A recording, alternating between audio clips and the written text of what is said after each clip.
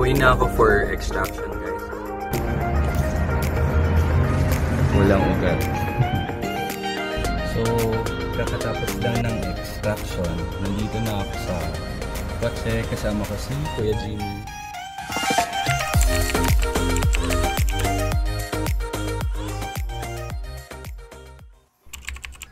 Hi guys, good morning. Ayan, uh, kakagising ko lang and magbablog ako tungkol sa sa aking kakainan for today. Ayan. Ang kakainin ko for today would be yung oatmeal. Ayan.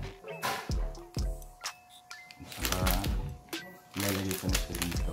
Pero mamaya pa kasi naka IF. Ayan. Ayan, so see you later. Hirap pag bagong gising. see you later.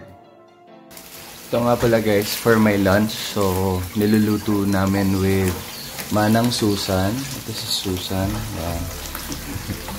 so, niluluto niya yung lunch ko. Ayan. At saka ito si Dexter. Bini, biniling beef. Oh, bakit may mga ano dyan? may mga mask na nakalagay. anyway, ayan. So, mga friends ko sila dito sa bahay. Ayan. Si Susan. O, sige, later, ah, balikan namin kayo.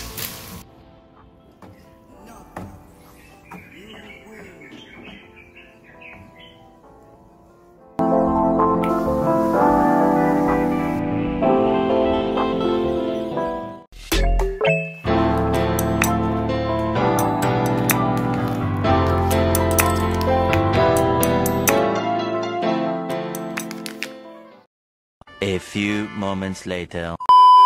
Di bali, nakastop naman. Ayan. On the way na ako for extraction, guys. This is uh, Monday, Feb... ah, Feb- March 1. Uh, ready na ako for extraction and then see you guys mamaya dyan sa extraction. So guys, nandito na tayo for extraction. Ready na ako with Ma'am Leslie. Hello. Morning. So yung procedure po natin, sir, yung normal naman na venipuncture, um, gagamitin natin tube 2 ml lang. Pati lang naman po yung kailangan natin. Check ko muna po.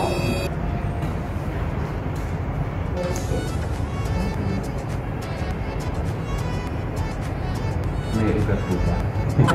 Close ko pong tayo.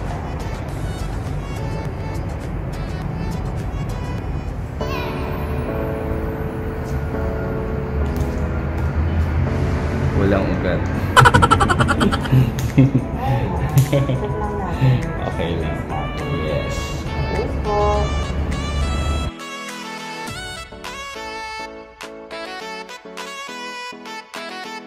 Ko po kung tutusok na ako ha. Okay. And open face. Thank you.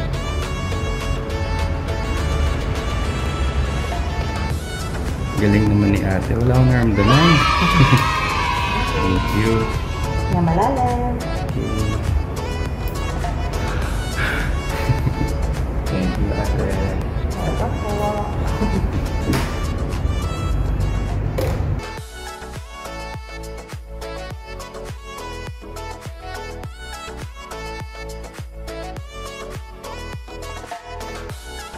And today, I'm here also with their sales coordinator from GMT, Miss Sarah Hermoso.